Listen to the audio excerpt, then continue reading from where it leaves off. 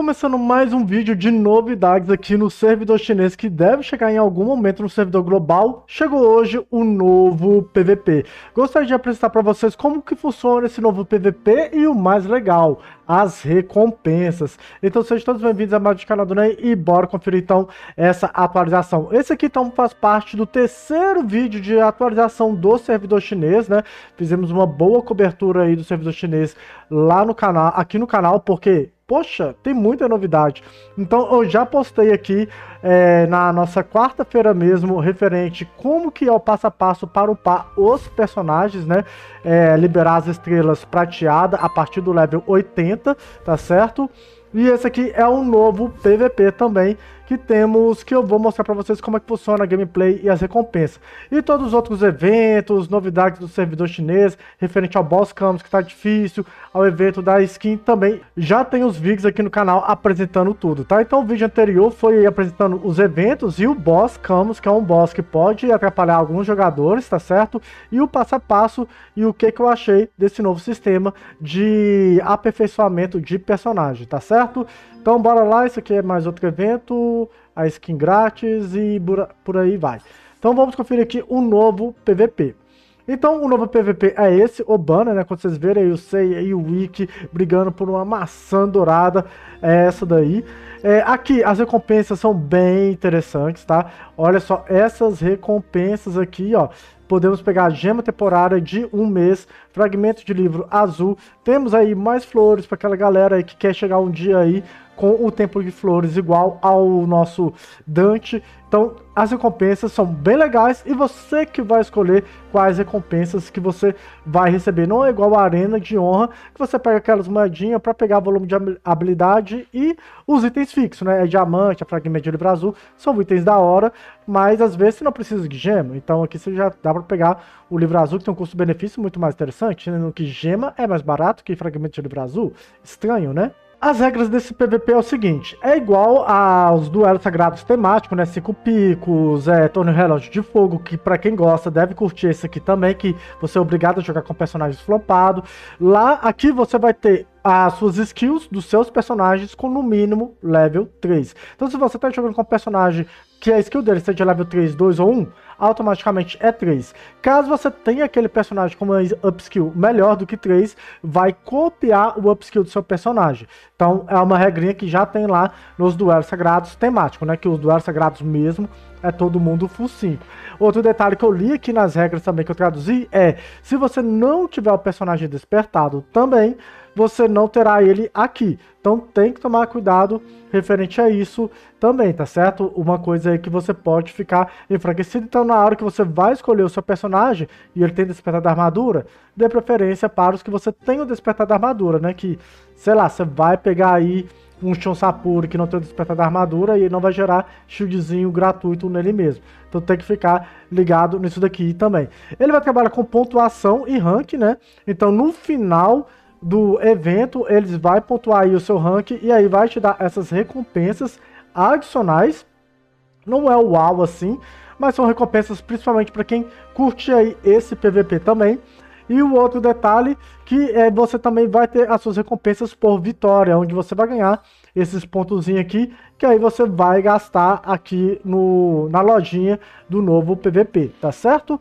Então, no resumo seria isso, ele tem horário para abrir, infelizmente o horário que eu estou gravando agora não está disponível, então, né, eu vou procurei alguns vídeos na internet, achei o Card jogando, achei o Cax jogando, a gente vai fazer um react do Cax mostrando porque é bem simples e depois vou dar o meu veredito para vocês que no geral é positivo, mas vamos ver a gameplay um pouquinho. Então esse daqui é o vídeo do Cax, se eu lembrar eu vou deixar nos cards, mas se vocês quiserem ver ele comentando, sempre reforço, o Cax fala em espanhol, então dá para entender um pouquinho, dá para colocar uma legendinha aqui automática, né, vocês quiserem ver o que, que ele tem a comentar, fiquem à vontade.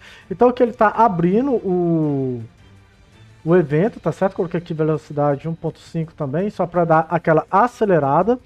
Aqui eu quero mostrar para vocês a pontuação. Ele vai começar com 90 pontos, tá? Para ele desde que ele começou a gravar o vídeo, tá certo? E aí tá mostrando aqui todas as recompensas. Deixa eu mostrar aqui a play para vocês. Acelerando ali, ele vai pegar aqui com um level 46.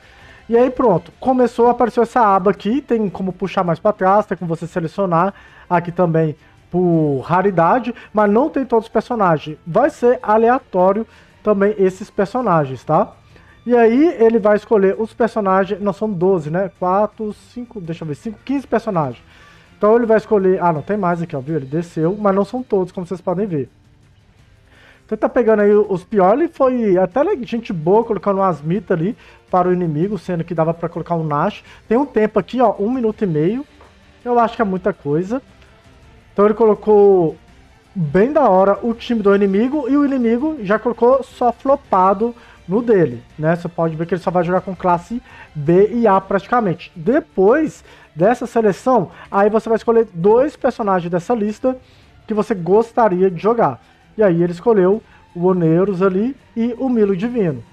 E o inimigo, que vai estar com um time bem melhor, escolheu a Sasha e o Afrodite. Daí pronto, é como se fosse uma batalha de duelos sagrados temático normal, né? Todo mundo aí com a skill no mínimo 3, né? Se você tiver upado vai estar level 5, e vai ser aquele PVP onde todo mundo vai ser obrigado a jogar com times flop, porque meio que você vai ter quatro personagens flopado na sua formação. E eu achei isso fantástico. Porque vai dar uma variedade para quem gosta de jogar no competitivo também.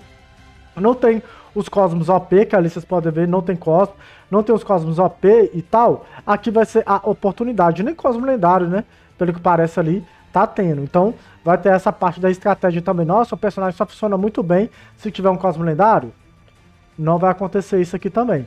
Então, é um PVP que é gostoso, para todas as modalidades, é, para todo tipo de player, né? Tanto o pay to win quanto o free to play vai ficar bem competitivo. Os pay to win terá aí uma condição levemente superior por ter mais quantidade de personagens upado também. Os free to play só vai ter que tá, ter atenção de continuar jogando com seus personagens ainda mais bem upado. A diferença é só são dois personagens que a gente tem que ter aqui bem upado, que é quase certo que a gente vai ter B e A aí quase sempre é, 66% do time escolhido, e assim eles vão ser normalmente todos 5, né? Pelo menos eu espero que você tenha aí seus A e B, caso você já seja um jogador de longa data, com os personagens aí tudo 5 também.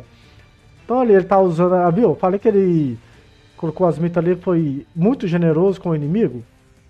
Então, essa aí é a temática. Deixa eu só passar aqui a luta pra frente, pra gente conferir aqui os pontos.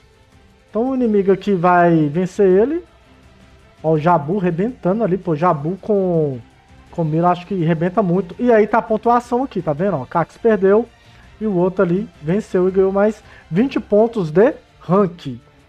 Tá? Aí o Cax vai jogar de novo. No vídeo do card, tava acontecendo muito isso que vai acontecer agora. Que para quem quiser correr atrás das recompensas, vai ficar super feliz.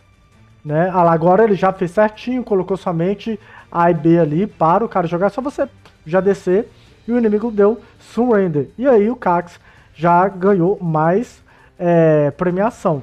Eu não sei se vai ter aquele limite de quantidade de vezes que a gente vai jogar. Que tem um outro PVP para quem tem mais de um ano. Tem aquele outro PVP. Ah, hoje vai ser banido Thanatos, não pode jogar. E aí tem o um lance de você, dependendo de, do seu rank, você já começa a ganhar pontuação por hora que é o Fenda Temporal. Lembrei aqui para deixa eu mostrar aqui o Fenda Temporal para vocês, caso vocês queiram ver, vou deixar esse vídeo aí nos cards também. É, no caso aqui, por exemplo, Cavaleiros Banidos. Então, cada Fenda Temporal tinha uma temática, porém ele tem aqui, ó, 10 barra 10. 10 tentativas por dia. Eu não visualizei nesse evento se vai ter limite ou só você só vai jogar mesmo tanto que você tiver disposto ali, como se fossem os duelos galácticos, para pegar rank. Então, é um PVP que, para quem tá interessado em jogar um pouquinho num competitivo e bem troll também, que pelo menos para mim é legal, vai ter essa diferença, essa diferença né, de gameplay e também de competitividade, podendo aí os free-to-play ficarem mais próximos aos pay-to-win. Eu, por exemplo, a maioria dos meus personagens não é tudo 5, mas muitos são jogáveis, então eu não vou ficar tão para trás dos pay-to-win assim nessa competição. Meu cano, por exemplo, por exemplo é 4555. Meu milho divino, 4555. Né, Moneiros, 1455. 5, né? Então, tem alguns personagens que eu ainda vou conseguir aproveitar bem, tá certo? Então vou passar aqui essa luta, né, onde o Cax também ele vai vencer. Ele fez três lutas nesse vídeo, três lutas, sendo que a primeira ele perdeu, a segunda teve surrender e a terceira ele venceu. Eu não sei o que aconteceu, se ele fez algum corte, que aparentemente ele não editou aqui, tá? E olha a pontuação que ele vai ter. Eu fiquei assim, bem chocado com a pontuação que ele obteve aqui. Tá vendo? A mesma recompensa da minha, ali mostrou, né? A mesma recompensa que eu tô aqui. Porém, na hora que ele vai no mercado, 980. Não sei se ele ganhou recompensa por participação. Enfim, eu sei que no primeiro dia ele já tá quase conseguindo pegar três fragmentos de livro azul extra. Isso aqui é por jogar. Não sei se vai ter um teto, né? De, de premiar desses pontuação aqui, né? Por dia por enquanto. E lembrando que as recompensas e os valores do chinês não refletem o do global. Muitas vezes eles fazem alterações aqui também, tá certo?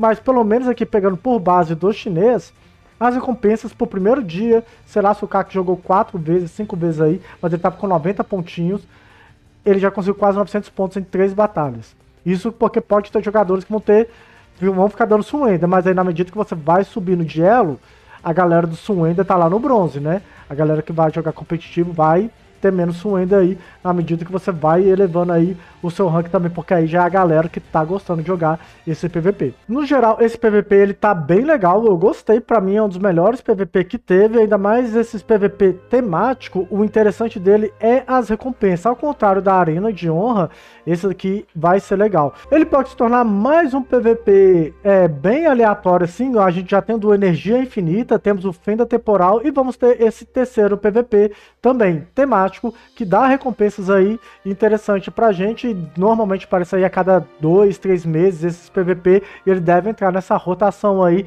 do energia infinita e da fenda temporal também. No geral, eu gostei, tá? Desse PVP e principalmente pelas recompensas também. Qualquer coisa vai ter o vídeo do Fenda Temporal aí nos cards também, como também os vídeos da atualização do servidor chinês, tá certo? E amanhã eu devo trazer aí os spoilers da atualização da próxima semana. Vou ficando por aqui, boa sexta para todo mundo, valeu e fui!